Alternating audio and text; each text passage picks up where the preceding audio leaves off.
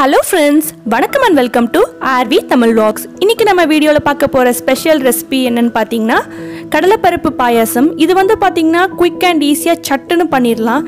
So இது எப்படி பண்ணலான்னு வாங்க வீடியோக்குள்ளே போய் தெரிஞ்சுக்கலாம். நான் இன்னைக்கு ஒரு கப் கடலைப்பருப்பு எடுத்திருக்கேன். ஒரு கப் கடலைப்பருப்புக்கு அரை கப் ஜவ்வரிசி அரை கப் சிறுபருப்பு எடுத்துக்கணும். இப்போ வந்து பார்த்திங்கன்னா அடுப்பு ஆன் பண்ணிக்கிறேன். அடுப்பு ஆன் பண்ணி குக்கர் வச்சுக்கோங்க. குக்கர் வச்சுட்டு நம்ம எடுத்த மூணு இன்க்ரீடியண்ட்டையும் ஆட் பண்ணிக்கோங்க. அதாவது கடலைப்பருப்பு ஜவ்வரிசி சிறுபருப்பு மூணுத்தையும் ஆட் பண்ணி மீடியமான ஃப்ளேமில் வச்சுக்கோங்க. மீடியமான ஃப்ளேமில் வச்சுட்டு நல்லா வந்துட்டு வறுத்து விடுங்க. இந்த மாதிரி நம்ம வந்து வறுத்துட்டு செய்யும்போது பாயாசம் நல்லா மணமாகவும் இருக்கும் டேஸ்ட்டாகவும் இருக்கும். இப்போ நான் வந்துட்டு ஒரு ஃபைவ் மினிட்ஸ் நல்லா இதை வறுத்துக்கிட்டேன். வறுத்துட்ட பிறகு இதில் வந்து வாட்டர் ஆட் பண்ணிக்கிறேன். அதாவது நீங்கள் எந்த கப்பில் எடுத்தீங்களோ அந்த கப்லேருந்து மூணு பங்கு அளவுக்கு தண்ணி ஆட் பண்ணிக்கோங்க. கரெக்டான அளவாக இருக்கும். இப்போ நான் வாட்டர் ஆட் பண்ணிவிட்டு குக்கர் வந்து லெட்டு போட்டுட்டு க்ளோஸ் பண்ணிவிட்டு ஒரு மூணு விசில் இதுக்கு நான் விட்டுக்கிறேன். மூணு விசில் ஆயிட்ட பிறகு ஸ்டீம் அதங்கினதும் ஓப்பன் பண்ணி பாருங்கள் இப்போ நம்ம பருப்பு நல்லா வெந்துருச்சு. இப்போ வந்துட்டு கரண்டி வச்சு ஒரு கிண்டி கிண்டிக்கோங்க. இப்போ வந்து பார்த்திங்கன்னா நம்ம வந்து தேவையான அளவு வெல்லம் ஆட் பண்ணிக்கலாம். நான் வந்துட்டு ஒன்றரை கப் வெல்லம் ஆட் பண்ணியிருக்கேன். கிட்டத்தட்ட வந்து பார்த்திங்கன்னா இது ஒரு ஹண்ட்ரட் கிராம்ஸ் இருக்கும்.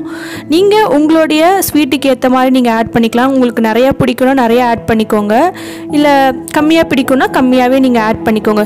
இதையும் ஆட் பண்ணி அடுப்பை வந்து மீடியம் ஃப்ளேம்லேயே வச்சுட்டு நல்லா வந்துட்டு இதை கரைச்சி விட்டுருங்க. நல்லா பாருங்கள் வெல்லம் இப்போது நல்லா கரைஞ்சி அந்த பாயாசத்தோடு நல்லா மிக்ஸ் ஆகிடுச்சு இப்போ நான் இன்னொரு பக்கம் பேனில் ஒரு ரெண்டு டீஸ்பூன் கீ ஆட் பண்ணிக்கிறேன்.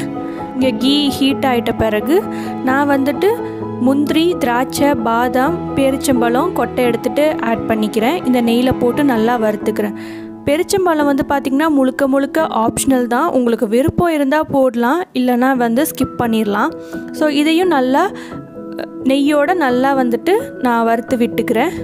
இப்போது நம்ம வறுத்து வச்ச ட்ரை ஃப்ரூட்ஸ் எல்லாம் தனியாக வந்துட்டு எடுத்து வச்சுக்கோங்க. இப்போது இந்த பக்கம் வந்து பார்த்திங்கன்னா ஒரு ரெண்டு ஏலக்காய் வந்து தட்டி ஆட் பண்ணிக்கோங்க. தட்டி ஆட் பண்ணி நல்லா மிக்ஸ் பண்ணிக்கோங்க.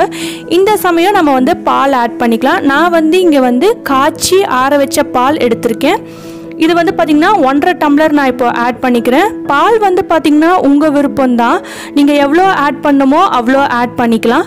இதை போட்டு ஒரு கலந்து விட்டுட்டு அதுக்கப்புறம் நம்ம வர் நெய்யில் வறுத்து வச்ச முந்திரி திராட்சை எல்லாமே ஆட் பண்ணிக்கலாம். ஸோ இதை ஆட் பண்ணிவிட்டு ஒரு டூ மினிட்ஸ் மட்டும் கொதிக்க விடுங்க. அவ்வளோதான் நம்மளோட சூப்பரான கடலைப்பருப்பு பாயாசம் தயாராகிடுச்சு இதை நீங்கள் கண்டிப்பாக உங்கள் வீட்டில் செஞ்சு பாருங்கள் செஞ்சு பார்த்துட்டு எப்படி இருந்துச்சுன்னு கண்டிப்பாக கமெண்ட்டில் சொல்லுங்கள் இந்த வீடியோ உங்களுக்கு பிடிச்சிருந்தா லைக் பண்ணுங்கள் ஷேர் பண்ணுங்கள் கமெண்ட் பண்ணுங்கள் அண்ட் கண்டிப்பாக ஆர்வி தமிழ் விளாக்ஸ் சேனலை சப்ஸ்கிரைப் பண்ணுங்கள் தேங்க்யூ ஃபார் வாட்சிங் ஆர்வி தமிழ் விளாக்ஸ்